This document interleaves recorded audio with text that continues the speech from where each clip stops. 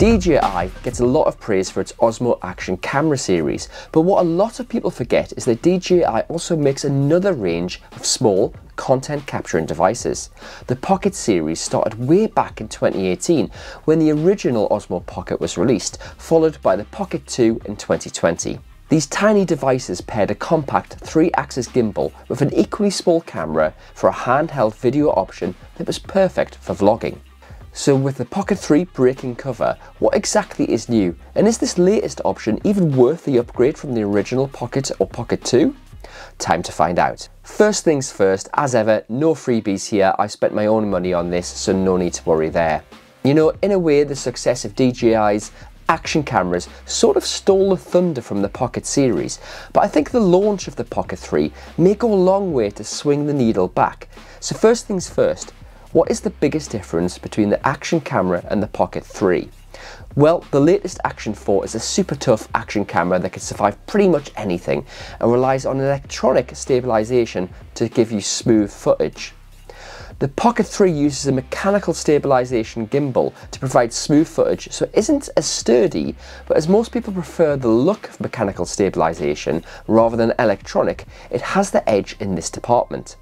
Here's the thing, both options are great to capture content on the move and are small and practical, which will greatly appeal to vloggers and YouTubers. In this video we're going to see exactly what the Pocket 3 can do, but we'll also compare it to both the original Osmo Pocket just to see how much of an upgrade this version is, and we'll also look sideways and compare the Pocket 3 to the Action 4. The Pocket 3 uses an f2 max aperture lens that serves up an equivalent 20mm focal length. Perhaps the biggest headline about the Pocket 3 is the sensor, which is much bigger than previous models. In fact, it uses a 1-inch CMOS sensor, up from 1 over 1.7 on the older Pocket 2, so users should see a big hike in video quality this lens can of course shoot horizontal footage, but you can also capture vertical footage too, which will be perfect for those videographers who share more of their work on platforms like Instagram and TikTok. When it comes to resolution, the Pocket 3 tops out at 4K 120p, which is actually the same as the Action 4, so both devices can provide some incredibly high resolution footage to create from. As the name suggests, the Pocket 3 offers a compact form factor, but I do have to say it has been bulking up at the gym, and the Pocket 3 is a lot bigger than the original Osmo Pocket. That said, it still weighs in at 179 grams and can easily slip into your pocket and be carried around all day.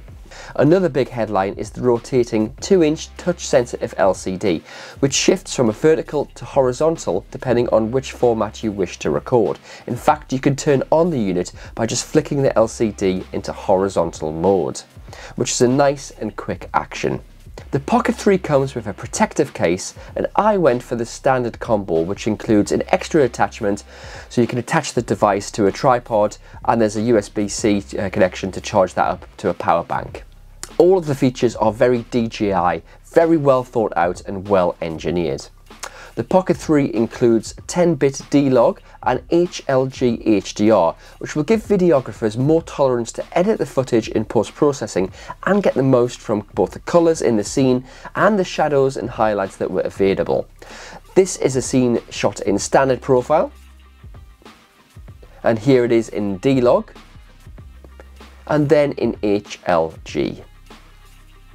It's worth pointing out that although the Action 4 does include 10-bit D-Log, it falls short and doesn't offer the HLG profile that the Pocket 3 does.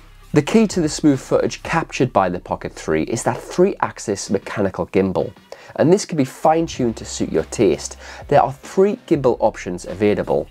Follow mode is suitable for most general work and will suit vlogs or selfies.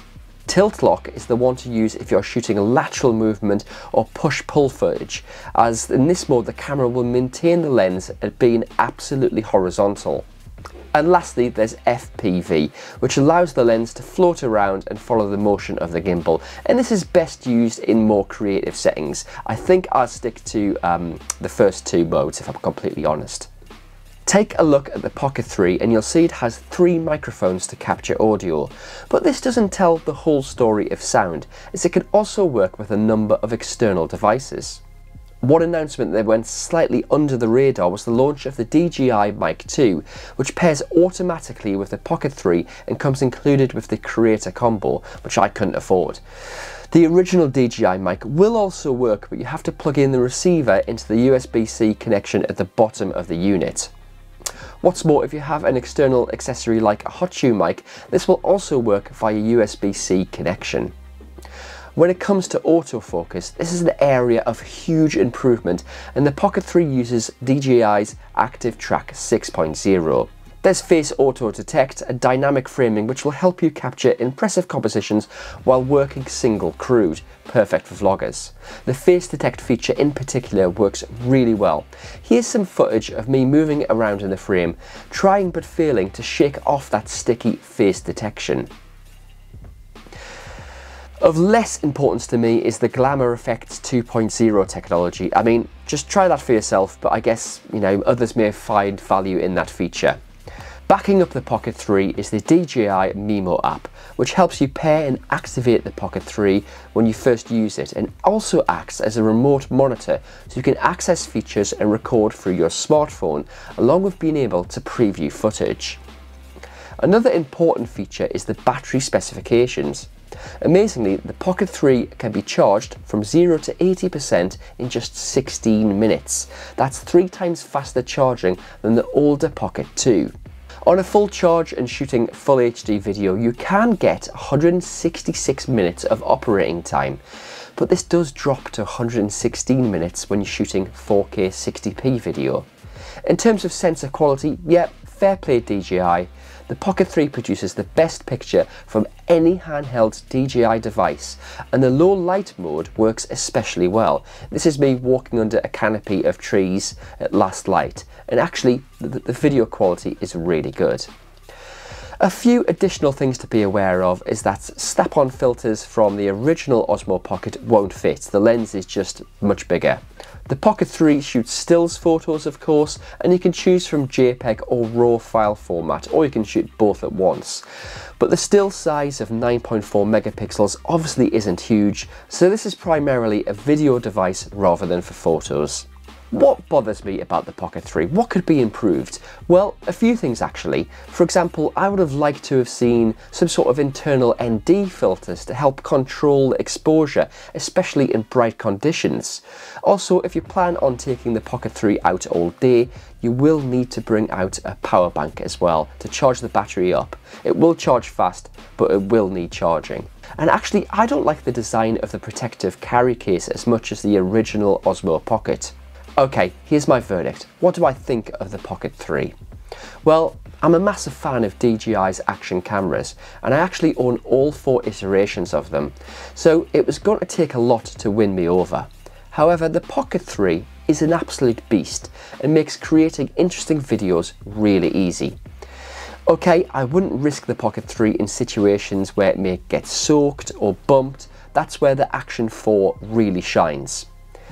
What's more, the Pocket 3 is expensive and costs more than the Action 4. I love the additional modes like the spin shot mode and of course there's time lapse too. And this device definitely enables content creators to increase the production values of their footage, especially when shooting single crewed. Yes, it's definitely worth upgrading if you own either the original Osmo Pocket or the Pocket 2. And the DJI Pocket 3 can be a companion, but not a replacement for the Action 4. Given the cost of the camera, I bit the bullet and I paid an extra 35 euros for the DJI Care Refresh package, so that if the camera does become damaged, I can get a replacement at an affordable price. But what do you think of the DJI Pocket 3? Is this something you'd be looking to add to your gear bag? Let me know in the comments and remember to like and subscribe. Thanks for watching and I'll see you next time.